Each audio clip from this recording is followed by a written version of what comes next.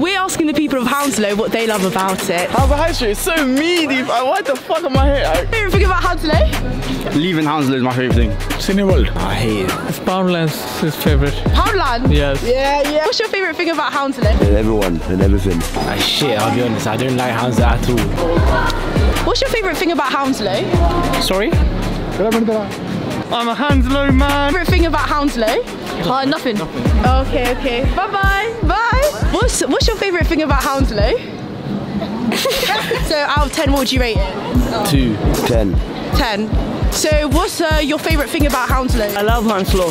Yeah. Yeah. I have a photo with you. Yeah, come on. yeah. I'm a Punjabi rapper.